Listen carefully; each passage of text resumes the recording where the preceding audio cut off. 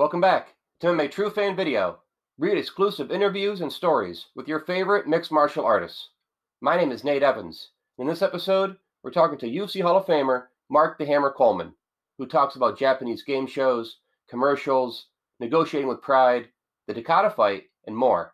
In our first clip, Coleman talks about his old buddy, Gary Big Daddy Goodridge, who arm wrestled 2,000 contestants on a Japanese game show. Here he is talking about it. We put 2,000 Japanese people down in less than two hours, one after one after another, one after another. And he told me, he said uh, they saved some big guys for the very end. You know what I mean? And he said when I when I got to the very end, of course I was you know pretty much you know getting tired, you know getting tired. Then I had to a couple decent sized guys. He said, but they had nothing for me. He put all everybody down in like two two hours, two thousand guys. That, them Japanese come up with some weird games, man.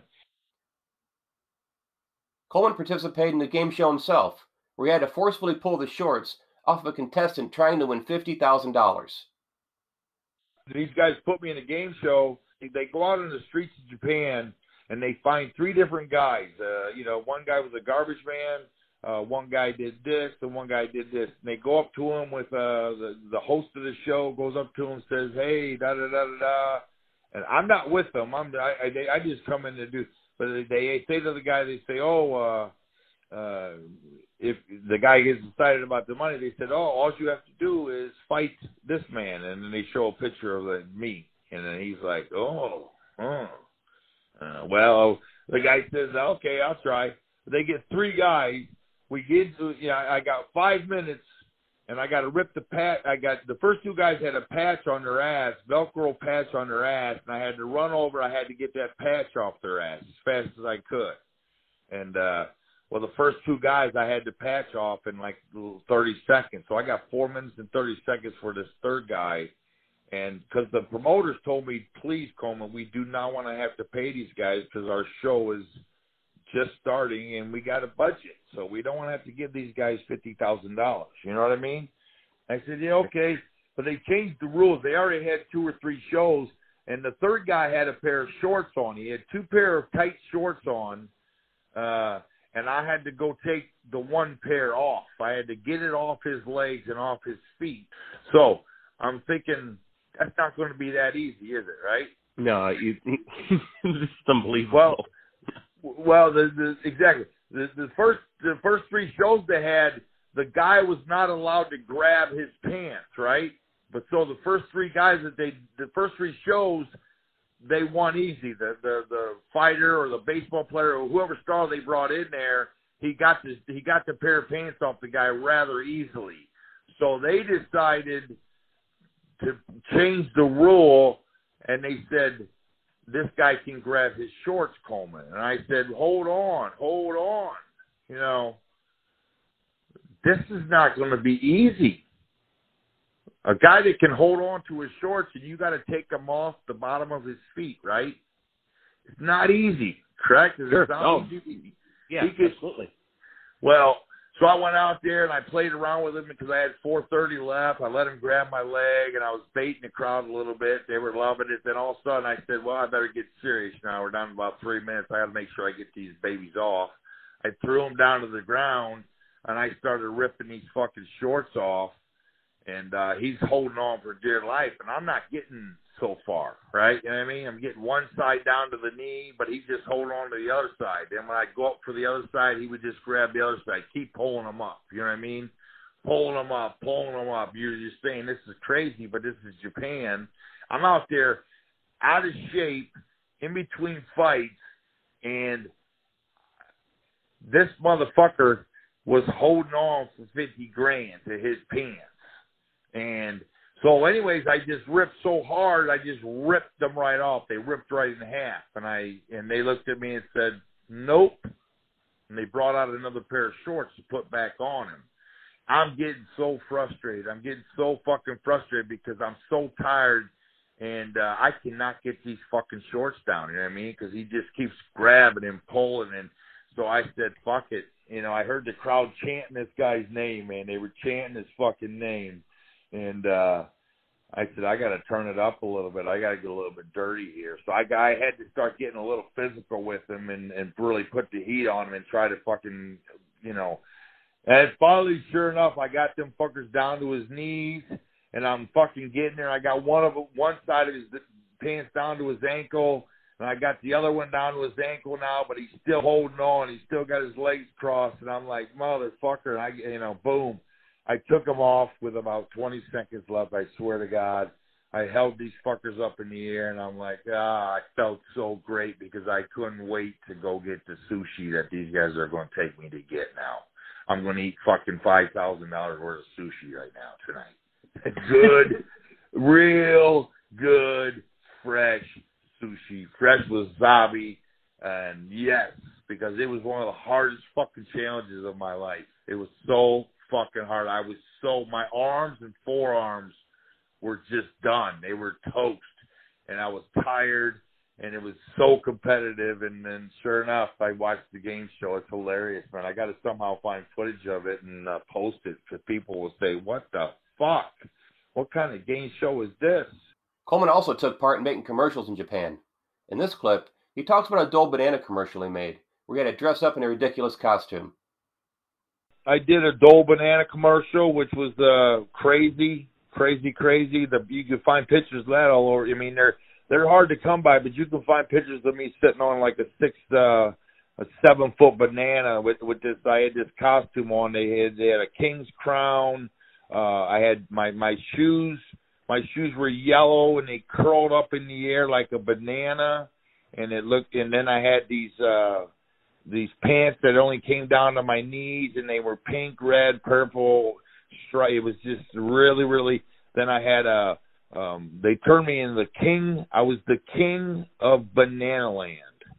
So I had all this king's costume on, and uh, uh, I had to sit there, and um, I had to hold these two bananas. It was Dole banana. They were doing a new. They had a, they had a they had a special banana. It was bigger, it was more yellow, it had more nutrients in it, and it was more sweet. So, sweetie Obama Uma, sweetie Obama. I'm telling my people I'm the king of banana land, so I'm up there in this costume holding these bananas up, and I gotta scream out, Bana Uma, Bana Uma, sweetie Obana Uma.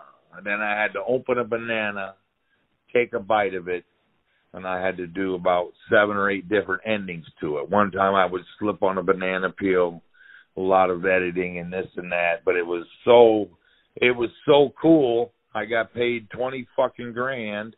I got my mom and dad first class business trip over to Japan for seven days. I got them a vacation paid for and I shot this commercial. Coleman had a legendary career in Pride, which we'll talk more about in a minute. But first, he shares a story about negotiating with the organization over a fight that he didn't really want anything to do with at the time. Here he is talking about it. And then all of a sudden, Pride calls me and says, "Will you fight Cro Cop?" I said, "Hell no." You know, I hardly, I never said no to a fight, but this is one of the first fights I can remember saying no. I said, "I'm not fighting Cro Cop in three weeks. Are you serious?" They're like, "Oh, Coleman, come on, we need you." We need you to fight this guy. Uh, we have nobody else. It's uh, somebody got hurt. Nope, nope, nope. I'm not fucking. I'm not getting my my neck fucking. You know, my neck was jacked at the time. It was either just before surgery or just after surgery. Either way, it was still a scary, scary thought fighting Cro Cop, the, the savage killer that I admit that he is. I would love to fight him with a full tank of gas. I think I beat him with a full tank of gas, but I know coming over there with three weeks is nothing. So then they offer me a little more money, and I say no. Still, I say no, but I wanted to say yes, but I said no. And then they offer me a little bit more money, and I say no, but I say it a lot more quietly and then they say this is the last offer, Coleman.